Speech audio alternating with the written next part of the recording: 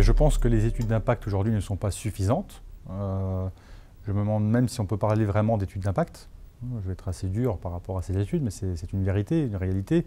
Euh, aujourd'hui, les parlementaires ne disposent pas d'études d'impact suffisamment approfondies pour bien faire leur travail. Donc il faut vraiment dépasser le modèle existant, créer autre chose qui permette de redonner de la confiance dans la démocratie. Alors dans le cadre euh, d'une proposition de loi que j'ai portée en particulier sur la question des territoires zéro chômeur longue durée, j'ai pu à la fois saisir le Conseil d'État pour avoir un avis du Conseil d'État pour améliorer le texte d'un point de vue juridique, tel qu'il était rédigé, et puis surtout j'avais sollicité à l'époque le président de l'Assemblée nationale pour saisir le Conseil économique, social et environnemental sur la question des territoires zéro chômeur longue durée, et on avait pu disposer d'un avis, voté à l'unanimité d'ailleurs par euh, le CESE, euh, qui pose des conditions de réussite de cette euh, expérimentation, de cette loi. Et ça, ça a été très intéressant, parce qu'en fait, on a eu un avis à la fois des partenaires sociaux, des acteurs de la société civile très largement,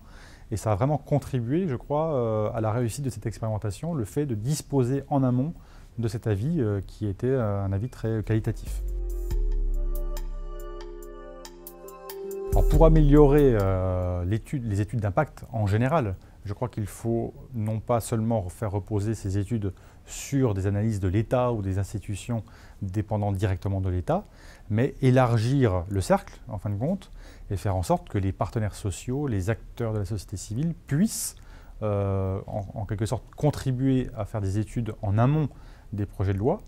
même si cela prend un peu plus de temps, parce que ce temps, en plus, il en fera gagner beaucoup après, parce ça nous évitera de refaire des nouvelles lois pour corriger la loi précédente. Hein. Ça, c'est très important. Et surtout, ça redonnera confiance en démocratie parce qu'on fera des lois efficaces euh, et auxquelles on peut, qui créent des droits auxquels on peut accéder, par exemple, hein, et pas euh, des droits imaginaires. Voilà.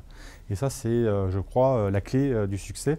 pour aussi notre démocratie et de faire en sorte, pourquoi pas, que le Conseil économique, social et environnemental puisse être saisi, après tout, en amont des projets de loi, des propositions de loi, pour apporter euh, un avis qualitatif.